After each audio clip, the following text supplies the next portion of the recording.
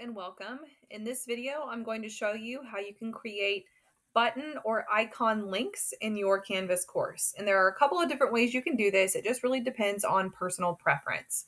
So I wanted to show you an example here to start with. This is a professional development course where I have created several different button icons already.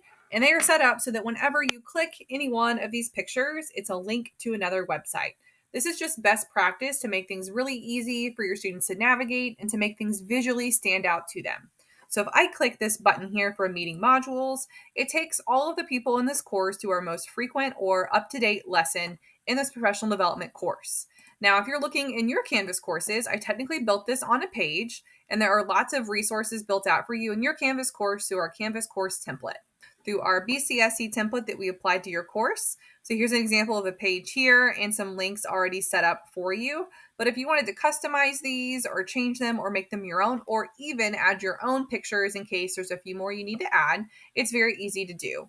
If you are an elementary teacher, then your BCSC curriculum links are already set up for you, so I would not change those links, but you can change some of the other ones in your course, and it's very easy.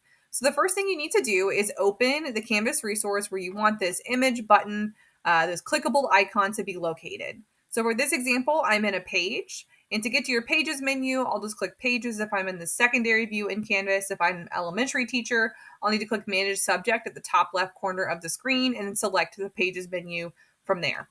And then I'll create a new page or edit one that I already have. So for this example, I'm just going to edit a page that I've already created. So here we go. I'm on this page and I'm just going to keep scrolling on down to give myself a little bit more real estate to work with here. And I'm just going to add another image to this page. So the first thing I need to do is save the image that I want to be created for this icon here on my computer. So let's imagine that I want this icon for my students to be some type of additional website for study tools.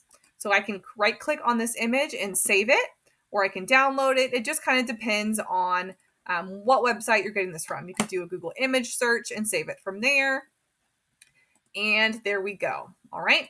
So if I come back to my Canvas course here, what I'm going to do is this rich content editor toolbar. It's called the RCE in Canvas. I'm going to tab down and I'm going to add in that picture. And there's a couple of ways you can add in a picture in Canvas. You can click the icon button and upload. And I can also drag and drop that picture. And that's a newer feature in Canvas, the drag and drop, since we did our training in February of 2023. So I'll upload and I can locate it on my computer wherever I saved it. And it's always helpful to add alt text so it's accessible. And submit.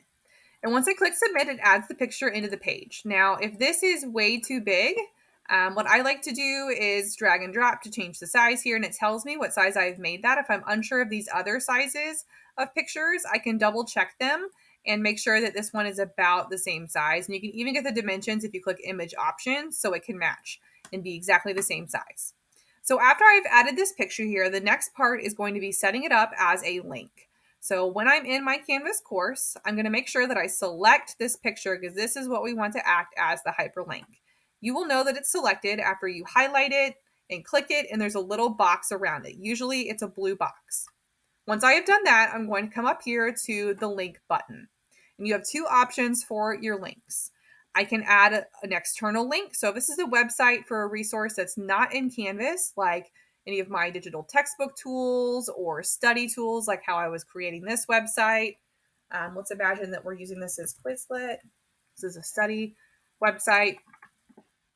I want my students to go to there. All right. Then I'm going to select external link. However, you can also create links in Canvas to course items that you've already built within the Canvas platform. So if I want this link to take my students to a module or Canvas page that I've built or Canvas discussion board all within this course, I'll select course link. And then from there, I can find whatever Canvas item that I want to have this link to. And I would just select it from this menu and it sets it up. For this example, I'm going to do external link. So if I click external link, it opens a window here, and this is where I need to paste in that URL. So what I want my students to do is to go to Quizlet as their study tool. So I need to copy this hyperlink in another window and then come back to Canvas. And when I do, I'm going to paste that in, and then I'll click Done. And whenever I am finished with that, I will scroll down to the bottom of the page and click save to save my edits. And then I can practice this hyperlink. So if I click this picture now, it should take me to Quizlet, and it does. So that is just a helpful hint there for um, setting up your pages so they have these nice little icons and to make things a little bit more streamlined and user friendly and better to navigate for your students.